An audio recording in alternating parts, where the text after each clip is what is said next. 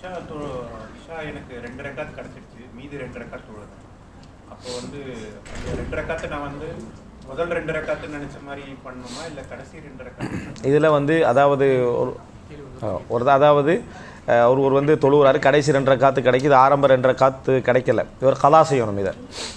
இதை இந்த ரெண்டரை காத்தை கலா செய்ய வேண்டும். இந்த ரெண்டரை காத்தை கலா செய்கிறது வந்து தொழுத ரெண்டரை காத்தையும் ஆரம்பமாக நினச்சிட்டு அதுக்கு புற உள்ள ரெண்டரை காத்தை கடைசியாக நினைப்போம் கடைசியான ரெண்டரை காத்தாக நினச்சி கலா செய்கிறதா அல்லது தொழாமல் ஆரம்பத்தில் ரெண்டரை ரக்காத்து விட்டார் அந்த ரெண்டையும் அப்படியே எடுத்து என்ன கதா செய்கிறதா அப்படியே எடுத்து கதா செஞ்சால் என்ன?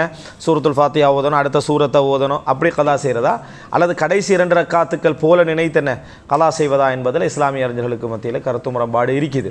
காரணம் என்னன்னு சொன்னால் ரசூலுல்லாஹி சல்லா அலுவலம் சொல்கிறாங்க சல்லுமா அதரக்தும் உங்களுக்கு கிடைத்ததை என்ன செய்யுங்க? தொழுங்க. வக்துமா ஃபாத்தக்கும்.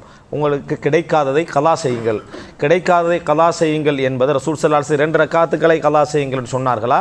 அல்லது அந்த ரெண்டு ரக்காத்துக்கள் எப்படி என்ன மாதிரி இருந்துச்சோ அதை முழுமையாக கலா செய்யணும்னு சொன்னார்களா? என்பதில் தான் ஒரு கருத்து முரண்பாடு என்ன செய்து இருக்கிறது. அல்லாஹு ஆலம் சரியான நிலைப்பாடு என்ன அப்படின்னு சொன்னால் அவர் தொழுத இரண்டு ரக்காத்துக்களும் ஆரம்ப இரண்டு ரக்காத்துக்களாக கருதி தொழாமல் விடப்பட்ட இரண்டு ரக்காத்துக்களையும் கடைசி இரண்டு ரக்காத்துக்கள் போல கருதி தான் என்ன செய்யணும்?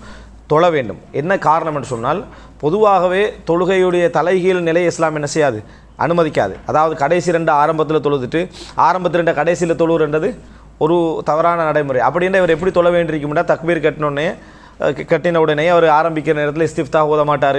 சூரத்துல் ஃபாத்தியா மட்டும் என்ன செய்வார்? ஓதுவார். எல்லா நீயத்தும் வந்து கடைசியுடைய ரெண்டு ரக்காத் என்ற நீயத்தில் இருக்கும். அது தர்த்தீபில் என்ன செய்யும்? ஒரு பிழையை என்ன செய்யும்? ஏற்படுத்தும். எனவே மிக சரியான ஒரு நிலைப்பாடு என்ன அப்படின்னு சொன்னால் ஆரம்ப ரெண்டரை காத்தாக அவர் தொழுத ரெண்டரை காத்துக்களையும் கருதிவிட்டு கடைசியாக தொழுகின்ற ரெண்டரை கா தொழுகையை அந்த கடைசி தொழுகையாகவே கருதி தான் என்ன செய்யணும்? தொழணும். அதாவது ஆரம்பத்தில் அவருக்கு ரெண்டரை காத்து கிடைக்கிது. அதில் அவருக்கு கொஞ்சம் நேரம் கிடைச்சா மற்ற சூரத்தையும் ஓதிட்டு மற்ற சூரத்துக்களையும் ஓதி ஓதாது விட்டாலும் அவருக்கு நேரம் கிடைக்கலன்னா பிழை இல்லை. நேரம் கிடைச்சா மற்ற ரெண்டு சூரத்துக்களையும் ஓதிட்டு அடுத்த கடைசியாக வரக்கூடிய ரெண்டரை காத்துக்களையும் இறுதி ரெண்டரை காத்துக்கள் போல் என்ன செய்யணும்? தொலை வேண்டும். அதுதான் சரியான நிலைப்பாடு. ஆனால் இதில் கருத்து முரண்பாடு இருக்கிறது.